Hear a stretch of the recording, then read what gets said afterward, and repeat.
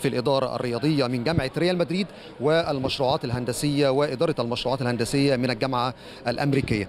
دكتور محمد برحب بيك على شاشة قناة النادي الأهلي وهذا المؤتمر زي ما اتكلمنا عن التكريم وتكريم الرواد واللي اسنوا واللي كان لهم دور في تاريخ النادي الأهلي نتكلم بقى عن الجزء الهندسي والجزء الإنشائي اللي كان محور هذا اللقاء واللي كابتن خطيب وصفه إن هي كلمة أو لقاء مع الجمعيه العمومية ومع جمهور النادي الأهلي. آه الحمد لله طبعا المؤتمر مشي بشكل كويس أو زي ما الكابتن محمود قال هو لقاء مش مؤتمر يمكن مع السادة أعضاء النادي الأهلي وبنخاطب فيه كل أعضاء وجماهير النادي آه الحمد لله يمكن.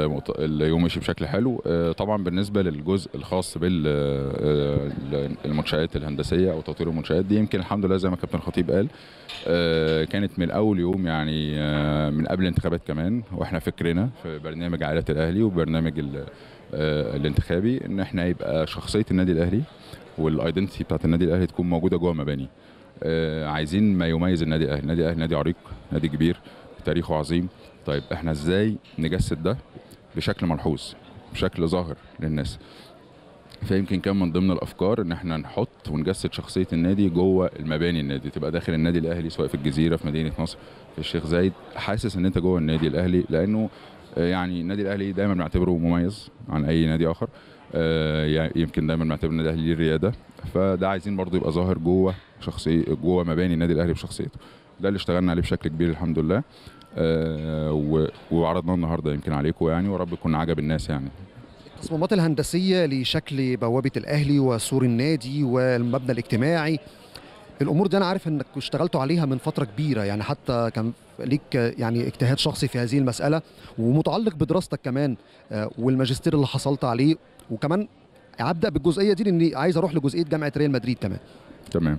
لا هو طبعا أنا كابتن محمود يمكن قال الكلام ده النهارده وأنا بشكره جدا هو يعني الحمد لله يعني كان اثنى على أداء الجميع سواء المجلس أو أعضاء المجلس. بنشتغل كلنا شغل جماعي وسواء الناس اللي ورا المجلس كمان اللي هي بتشتغل معانا من من قلبها بدون أي حاجة ما تكون موجودة جوه النادي أو مش موجودة. فده هو ده اللي بيميز النادي الأهلي والحمد لله يعني يمكن كابتن الخطيب هي دي الروح دايما اللي بيخليها ما بيننا. ده دايما بيطلع ما هو أفضل للنادي. فده اللي الحمد لله اشتغلنا عليه يا محمد زي ما أنت قلت كانت فكرة من ضمن الأفكار إن إحنا هنحط شخصية النادي الأهلي جوه المباني. يبقى ده ظاهر في في مبانيه يبقى ظاهر في منشآته.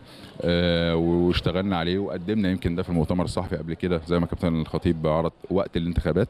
أكيد طبعا آه زي ما إحنا بنلتزم وبنوعد الناس بأي حاجة هن هنحطينها في البرنامج لازم هننفذها سواء بقى في الجزء الخاص بمنشآت النادي أو في جزء خاص بالبطولات اللي إحنا هننظمها إن شاء الله الفترة الجاية أو بالجزء الاستثماري. أي حاجة إحنا يعني وعدنا بيها الأعضاء وجماهير النادي الأهلي ملتزمين بيها.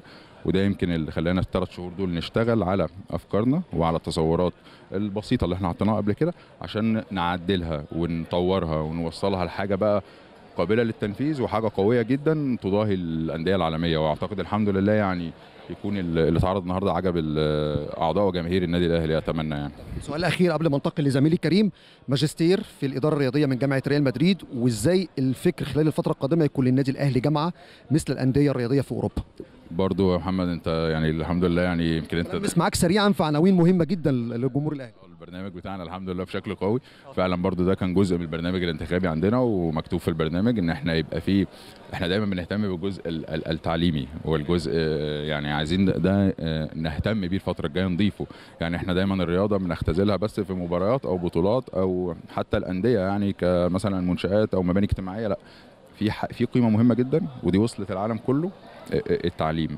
إن إحنا يبقى في ثقافة رياضية سواء على مستوى الأخلاق الرياضية والتوعية أو حتى على مستوى تبقى تأهيل الكوادر سواء بقى في الإدارة في التسويق في الإعلام الرياضي. كل ده إحنا عايزين نوصل لأعلى مستوى على العالم إن إحنا يبقى في بيننا وبينهم نوع من أنواع التعاون ونوع من أنواع تبادل الثقافات ما بيننا وما بين جامعة زي دي.